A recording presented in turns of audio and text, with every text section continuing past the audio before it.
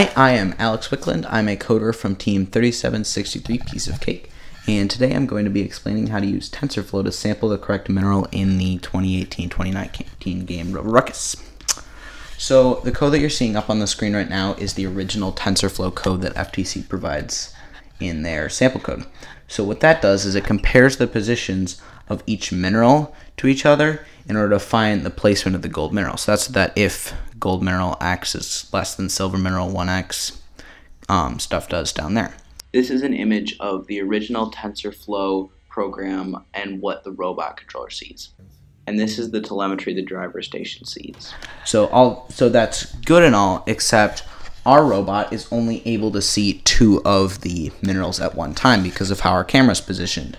So our code only extracts an X position and has positions um, for the X value of the gold mineral already set up in order to determine how to move to the correct mineral.